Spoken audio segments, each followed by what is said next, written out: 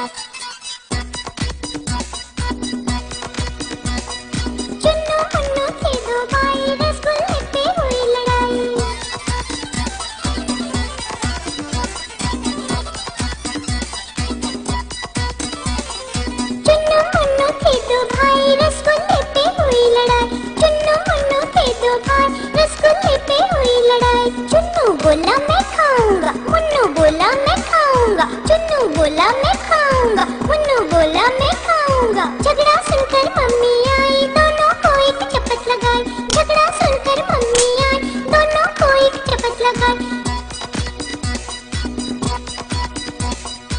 आधा तोले चुन्नू